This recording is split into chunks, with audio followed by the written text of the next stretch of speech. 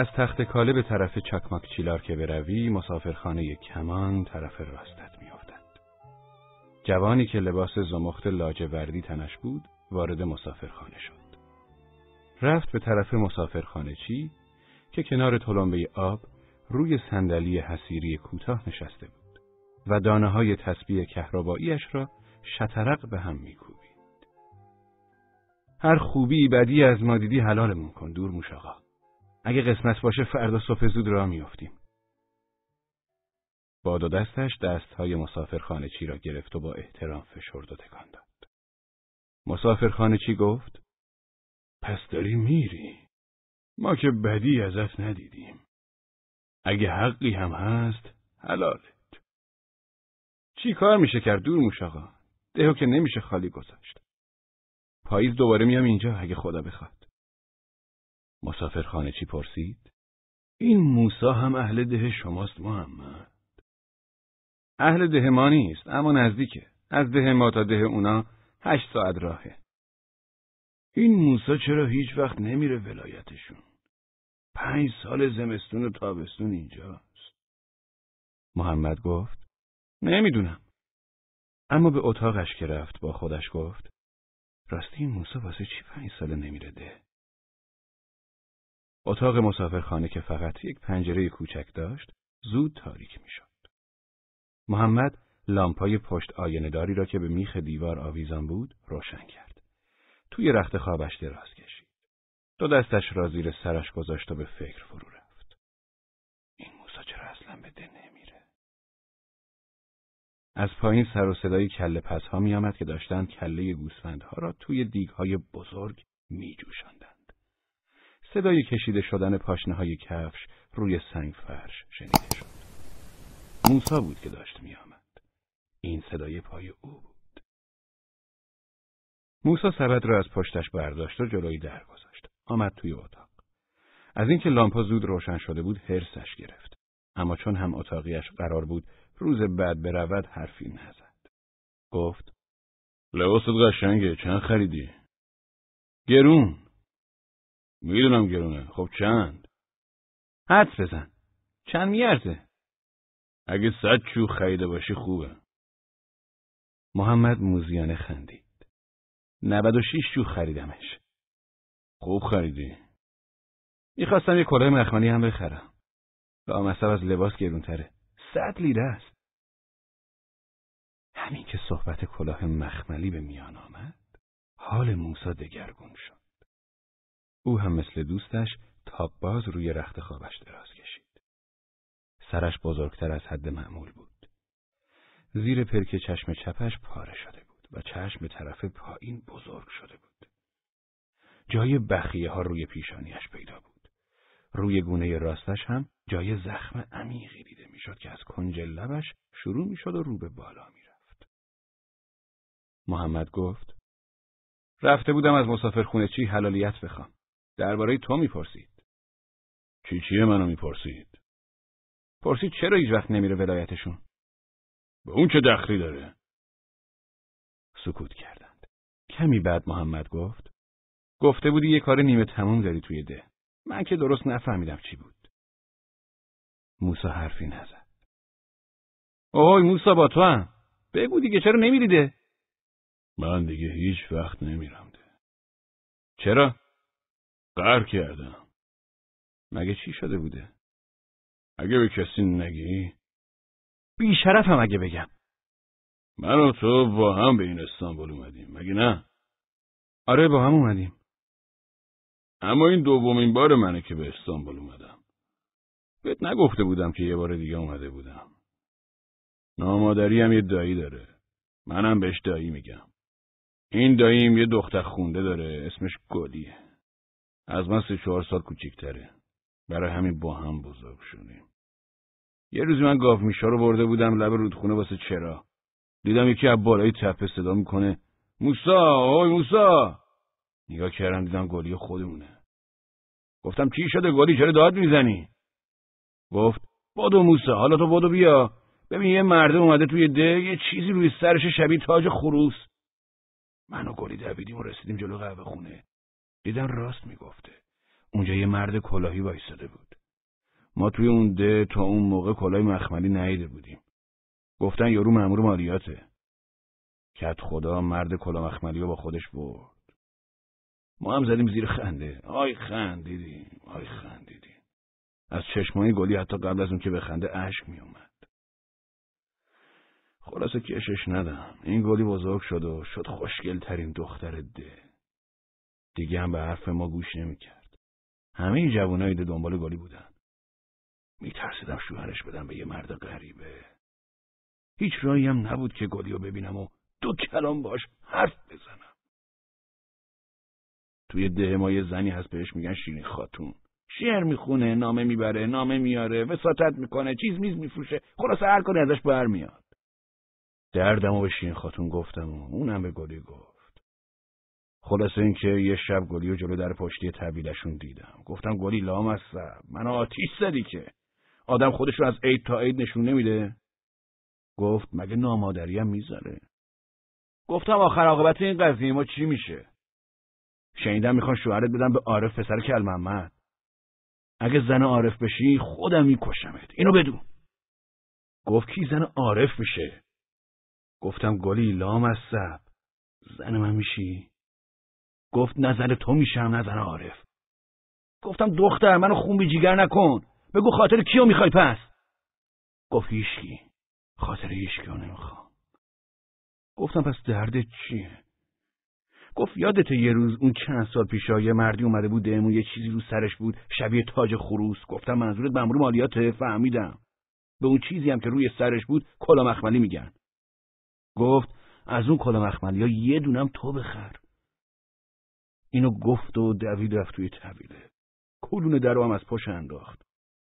در از پشت هول دادم. گفت هول نده به خدا داد می‌زنم ها گفتم دختر آخر عاقبت این کار ما به کجا می‌کشه؟ خب یه چیزی بگو دیگه. گفت من حرفمو زدم دیگه. فهمیدم اگه یه کلا مخملی بذارم سرم گلی زنم میشه. روز بعدش رفتم بخش. توی عمرم دومین دفعه بود که می‌رفتم بخش. همه جا رو توی هیچ مغازه کلا مخملی نمیفروختن آدما رو نگاه کردم کسی رو ندیدم کلا مخملی سرش باشه یه دفعه دیدم دوتا مرد کلا مخملی دارن از روبرو میان. افتادم دنبالشون. پرسیدم اینا کیان؟ گفتن یکیشون بخش داره، اون یکی هم معلمه. با خودم گفتم پس آدم حسابیه کلا مخملی می‌ذارن سرشون. این گودی دختر عاقلیه ها. این کلا مخملی هم به مرد جماعت میاد. به مردا یه جور مردونگی دیگه ای میده. گفتم آفرین به تو دختر. منم اگه خدا بخواد یه کلا مخملی می‌خرم. توی ده ما هنوز کلا مخملی باب نشده بود. گفتم کلا مخملی رو می‌ذارم سرم. بعد یه عروسی حسابی می‌گیرم تا عارف پسر کل محمد انگوش به دهم بمونه. بده برگشتم. می‌خواستم بعدا به شهر برم و کلا مخملی بخرم. اما همون موقع اسمم واسه سربازی در اومد. شبی که قرار بود فرداش برم سربازی دوباره گلی و جلو در پشتی طویلشون دیدم. تا چشمش به من افتاد گفت پس چی شد؟ گفته بودی کلا مخملی می‌ذارم سرم. دروغگو. گفتم دختر کلا مخملی خریدن که کاری نداره. رفتم بخش مغازه کلا فروشی پیدا نکردم. الانم دارم میرم سربازی هم هستم همین که برگشتم یه کلا مخملی می‌خرم. دوید توی طویله و در از پشت بست و گفت بی خودی حال یا به خدا داد می‌زنم. گفتم گلی قسمت نشو کلا مخملی سرم بذارم. اسمم واسه سربازی در اومد. منتظرم میمونی تا برگردم. گفت حالا تو فعلا کلا مخملی بذار سر تو برگرد. شیرین خاتون رو فرستادم بهش بگه ما از اوناش نیستیم که توفمون رو لیست بزنیم. حرفمون حرفه کلا مخملی هم سرمون می‌ذاریم. اونا سر حرفش بمونه منتظرمون بشینه. وگرنه خونش پای خودشه. کشش ندم رفیق. رفتیم سربازی. توی سربازی سه تا استان و پنج تا شهرستان دیدم. چشمم همش دنبال کلا مخملی بود. کارا مخملی لامصب به مرد هیبت میده. نگاه می‌کنی انگار از روبرود پادشاه میاد. بعد یارو کلا مخملی رو که از سرش برمیداره می‌بینی تنها چیزی که نداره هیبته. خودت می‌دونی که توی سربازی پول سیگارم به زور گیر میاد. چه برسه به کلا مخملی کارت پایان خدمتمو که گرفتم بده برگشتم. شیرین خاتون ازم پرسید این گلی ورد زبونش شده کلا مخملی مخملی دیگه چه سیغه ایه شبش گلی و جلو در طویله دیدم. گفتم دختر ببین سربازی هم تموم شد. حالا راضی هستی؟ گفت پس کلا مخملی چرا رو سرت نیست؟ تا کلا مخملی نباشه نمیشه. گفتم گلی آخه من تازه از سربازی برگشتم. اونجا به آدم کلا مخملی نمیدن که. بذار یه مدت بگذره کلا مخملی هم می‌گیرم. می‌خواستم دستشو بگیرم که فرار کرد رفت تو. فقط می‌گفت کلا مخملی هیچ چیز دیگه نمی‌گفت. رفتم شهر. کلا مخملی ها گرون بود. نزدیکش نمی‌شد رفت. دیدم نمیشه. برگشتم ده. شب که شو گلی و جلو در طویله دیدم. چشمش که به من افتاد گفت کلا مخملیت کو؟ گفتم دختر یه دقیقه وایسا گوش کن. من برای اینکه بتونم کلا مخملی رو سرم بذارم باید برم دیار قربت راه دیگه ای نداره. همین فردا راه میفتم میرم استانبول. کار می‌کنم پولامو جمع می‌کنم یه کلا مخملی می‌خرم و برمیگردم ولایت. خوب لام از صحب تا خواستم دستشو بگیرم دوید رفت تو در از پاش بست. گفت تا کلا مخملی سرت نذاشته ای بر نگرد. گفتم دختر اگه خدا بخواد و قسمتم باشه کلا مخملی رو سرم می‌ذارم. منتظرم بشین. اگه سر حرفت نمونی خودم میکشمت. کشش ندم رفی اومدیم به این استانبول خراب شده. اولش شدم سپول شهرداری. هرچی کار می‌کردم جون میکندم پول کلا مخملی جور نمی‌شد. مزخرف در این کلا مخملی چهل چوخ بود. دیدم اینطوری نمیشه. بعد شیش ماه سپوری رفتم آبدارچی اداره شدم. بعد از چهار ماه چهل چوق جمع کردم. رفتم مغازه کلافروشی کلا مخملی شده بود پنجاه چوق این همون کلا مخملیه که میگن گربه رو شیر می‌کنه. کلا مخملی بیست چوقی هم هست اما شیر رو گربه می‌کنه. با خودم گفتم اگه یکی از این کلا مخملی های بی خودو بگیرم و بذارم سرم و گلی کلا مخملی روی سر ما رو نپسنده به چه دردی می‌خوره؟ سر تو درد نیارم رفیق. من سه ماه اینجا پنج ماه اونجا سخت کار کردم و صد لیره پول جمع کردم. کلا مخملی شده بود هشتاد چوق. رفتم کلا فروشی. ببین رفیق آدم باید شانس داشته باشه. این دفعه هم هیچ کدوم از کلاها اندازه سرم نبود. همش کوچیک بود. کلا مخملی ها رو که سرم میذاشتم انگار پروانه روی سرم نشسته بود. با خودم گفتم خیاطی چیزی نیست که یه کلا واسه خودم سفارش بدم. گفتن این کلاها روی اندازه است. قد سر من کلا نمیدوزن. توی استانبول به این بزرگی هر چی کلا فروشی بود گشتم. ببین چه کله ای دارم که هیچ کلایی بهش نمی‌خوره. آخر سر توی ویترین یکی از کلا فروشی یه کلا مخملی گنده دیدم. رفتم تو پرسیدم این کلا مخملی باشه ویترین چنده؟ گفت فروشی نیست. اگه فروشی نیست چرا گذاشتیش پشت ویترین؟ کلا فروش گفت این کلا برای تبلیغاته. واسه هرچی هست خب باشه. حالا بذارشون سرم ببینم چطور میشه. کلا فروش تا کلا رو از پشت ویترین در آورد و گذاشت روی سرم. بنای خنده رو گذاشت و گفت ماشاءالله تو هم از اون کل گنده هستی یا گفتم این کلا چند؟ فروشی نیست اما خب صد لیره بده تا بفروشمش. صد لیره که نمیارسه. خود دانی اما همچین کلاه بزرگی سخت پیدا بشه تا بتونی بخری و سرت بذاری. منم و کف دستم شطرق کوبیدم روی سرم و گفتم تو هم همچی کله گنده سخت پیدا کنی تا بتونی کلاه بفروشی. کلاه فروش از این حرفم خیلی خندش گرفت. چک و چونه رو خیلی طولش نداد کلاه و هشتاد چوق داد. خلاصه کلاه رو گذاشتم روی سرم. چهار سال شده بود که از ده اومده بودم اینجا. با خودم گفتم خب دیگه برمیگردم و بسات عروسی و راه میندازم کلا به سر از مغازه کلا فروشی اومدم بیرون. تا پامو گذاشتم بیرون رفیق. کلاه روی سرم انگار بال در آورد انگار کن پروانه بود روی سرم. کلا پروانه شده بود رفیق. توی آسمون پرواز می‌کرد. کار ما رو ببین تو رو خدا. گلی چند سال مدام میگه کلا مخملی کلا مخملی. من ده ساله میگم کلا مخملی کلا مخملی. چهار سال کار کردم تونستم یه کلا مخملی بذارم روی سرم. اونم پرواز کرد رفت. منم پشت سر کلا تو هوا پرواز کردم رفیق. کلا پرواز می‌کرد من پرواز می‌کردم. کلا رو زمین میشست من رو زمین میشستم. همین که می‌خواستم بگیرمش کلا دوباره پرواز می‌کرد. نمی‌دونستم این کلاه قسمت من هست یا نه. ملتم جمع شده بودن و به ریشم میخندیدن. خب به خندیدن این کلاه بگیرین. کلاه انگار جادو شده بود. هیچ جوری نمی‌شد گرفتش. همونجور که دنبال کلاه میدویدم انگار یک دفعه توی سرم رعد و برق زد. نگو از بس حواسم پی کلاه بوده زیر تراموای موندم. دیگه نفهمیدم چی شد. از حال رفتم. اما می‌گفتن توی بیهوشی هم مدام می‌گفتم کلاه کلاه کلاه گرفته بودن و هر دومون رو توی ماشین گذاشته بودن و برده بودن مریض خونه. یه هفته چشام بسته بود اما بازم می‌گفتم کلاه کلاه این چشممو که می‌بینی اون موقع معیوب شد. کلاه مخملی رو گذاشتم سرم و مریض خونه اومدم بیرون. از ترسم یه دستمال از بالای کلا رد کرده بودم و زیر چونم گره زده بودم تا نکنه دوباره بپره بره. بدون هیچ اتفاقی سوار کشتی شدم. خدا رو هزار مرتبه شکر. رفتم روی عرشه. بیرون رو نگاه می‌کردم و با خودم می‌گفتم ای استانبول سرم چه بلاها بردی تو. کشتی سود کشید و راه افتاد. همین که کشتی راه افتاد بادش اومد هم دستمال و هم کلاه برداشت و برد. داد زدم کلا کلا کلا مخملی عین مرغ ماهیخوار توی آسمون پرواز می‌کرد. ملت هم دارم جمع شده بودن و همین که می‌گفتم کلا کلا به هم میخندیدن. نتونستم جلو خودم بگیرم. دنبال کلا پریدم بالا. توی آب کلا گرفتم.